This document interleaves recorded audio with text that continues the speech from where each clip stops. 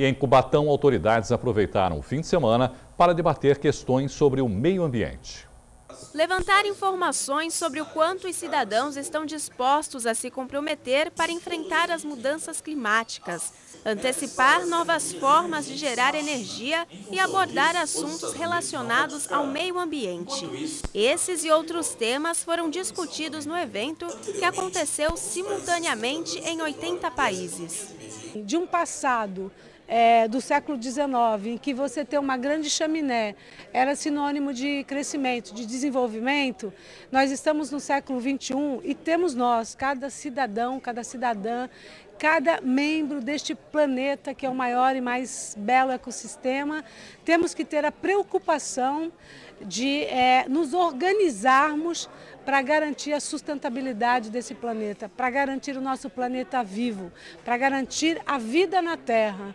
E eu acho que isso só é possível em eventos maravilhosos como esse. O WW Views é uma iniciativa da ONU. No Brasil, é coordenado pelo Instituto Brasileiro da Diversidade.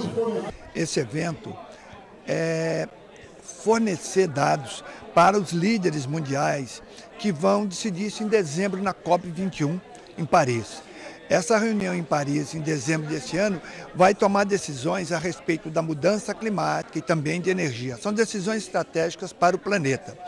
A metodologia é trabalhar com 80 países, dos quais o Brasil, e a cidade escolhida aqui no Brasil foi a cidade de Cubatão.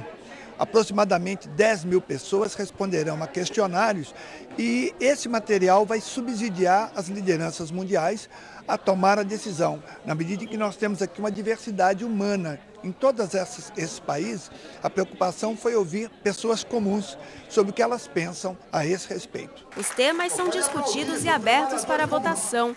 Todas as pessoas recebem informações a favor e contra os diferentes pontos de vista sobre as políticas para o clima e energia. O resultado é publicado em tempo real pela internet.